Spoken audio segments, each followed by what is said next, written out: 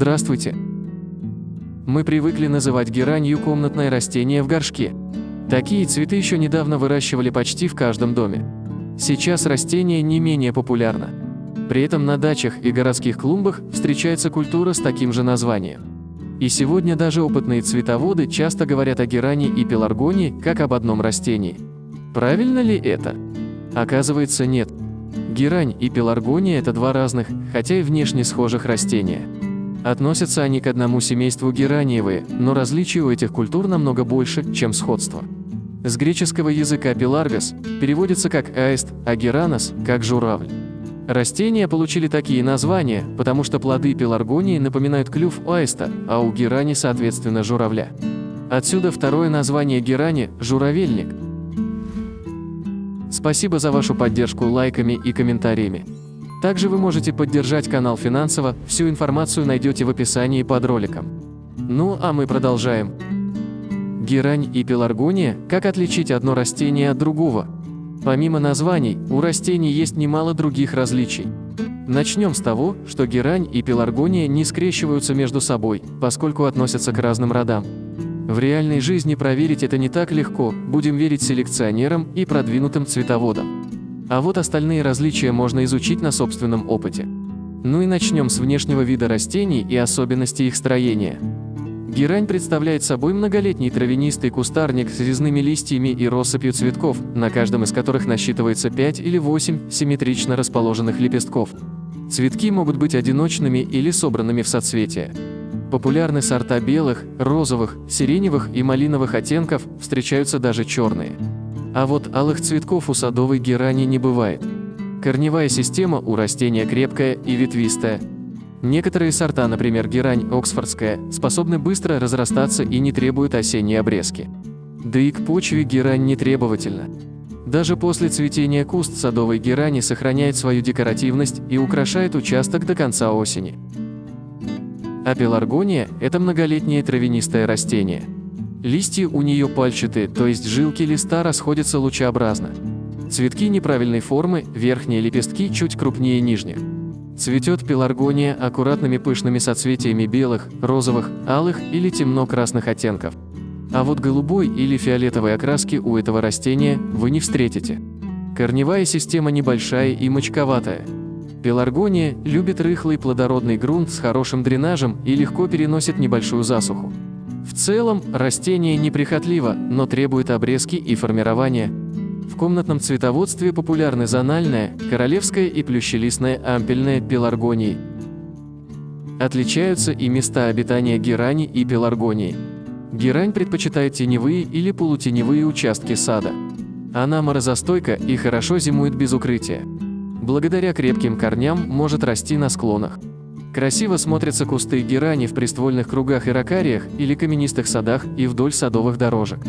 Растением можно смело заполнять пустоты на клумбах. Оно хорошо сочетается с седумом, тимьяном и даже розой. Можно попробовать высадить куст герани в качестве солитера. А вот пеларгония теплолюбива и может произрастать только в условиях квартиры или зимнего сада. Летом согласится пожить на балконе, террасе без сквозняка или на теплом участке клумбы. Но на зиму растение придется вернуть в комнатный горшок. Не любит ярких солнечных лучей и переувлажнения. Иногда ее выращивают в саду как однолетник. Пеларгония также обладает антибактериальными свойствами и прекрасно очищает воздух. Аромат растения помогает при головной боли, бессоннице, стрессе и сердечно-сосудистых заболеваниях. Поскольку растения очень разные, уход им тоже требуется каждому свой. Если у вас не так много времени на заботу о садовых цветах, герань – это подходящий вариант. Она неприхотлива и жизнестойка.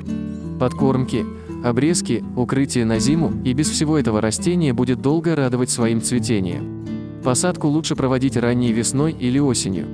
Садовая герань отпугивает вредителей и сорняки и привлекательна для насекомых-опылителей, поэтому ее можно высаживать прямо на овощные грядки. После окончания цветения желательно срезать цветоносы, а осенью удалить надземную увядшую часть и замульчировать куст компостом или древесной корой. Герань редко болеет, но все же может заразиться мучнистой росой или серой гнилью. В первом случае достаточно опрыскать куст 3% бордоской жидкостью а во втором лучше удалить заболевшее растение и пролить почву триходермином. Размножить герань можно семенами или делением взрослого куста. Если невозможно посадить деленки осенью, их можно сохранить до весны. Для этого присыпьте корневища растений торфом и поместите в контейнер или пакет с отверстиями. Чтобы корни не пересохли, периодически увлажняйте субстрат. Температура хранения должна быть в пределах 4 градусов. Комнатная пеларгония по сравнению с садовой геранью довольно прихотлива, но в мире домашних растений весьма нетребовательна. Свежий плодородный грунт, регулярные поливы и подкормки обеспечат обильное цветение и здоровье всего куста. Емкость для посадки должна быть не слишком большой, среднего размера. Важно расположить горшок с пеларгонией в хорошо освещенном месте, но без прямых солнечных лучей. Если такого места нет, просто притяните горшок. Плохо реагирует цветок и на сквозняки, листья скручиваются и желтеют. Также опасность представляет переувлажнение земляного кома, поэтому обеспечьте растению хороший дренаж и грамотный полив по мере просыхания верхнего слоя почвы. Через день после процедуры грунт рекомендуется осторожно рыхлить, чтобы не образовывалась земляная корка. После цветения обрезайте засохшие цветки. Также полезно удалять загущающие куст побеги и подрезать лишние листья. Для подкормки в течение весны и лета используйте комплексные минеральные удобрения. У пеларгонии постоянно происходит процесс отмирания старых листьев, поэтому не бойтесь за ее здоровье. Но вас должны насторожить налет и бурые пятна, скручивание листовых пластин, наличие на них паутины или дырок. При выращивании пеларгонии нужно соблюдать температурный режим. Растение не переносит понижение до 15 градусов. А зимой в период покоя не любит соседство с батареей, так что лучше уберите горшок с подоконника вглубь помещения и обеспечьте подсветку фитолампой. Раз в несколько лет необходима пересадка в более просторный горшок. Подытожим, Герань – это садовое многолетнее растение, которое не боится холода и с радостью цветет на клумбах. А пеларгония – это горшочное комнатное растение. Летом может пожить в вазоне или на клумбе, но требует теплой зимовки. Если вы привыкли называть комнатное растение геранью, ничего страшного. Только при поиске информации о нем используйте название пеларгония. А настоящую герань можете высадить в своем цветнике. Ну вот и все на сегодня. Герань и пеларгонию можно приобрести, перейдя по ссылке в описании или в закрепленном комментарии под роликом. Подписывайтесь, ставьте лайк и делитесь этим видео и оставляйте комментарий. Также переходите по ссылкам на другие платформы с нашим каналом. Ссылки также найдете в описании под роликом. И если хотите поддержать канал, то ссылки тоже в описании.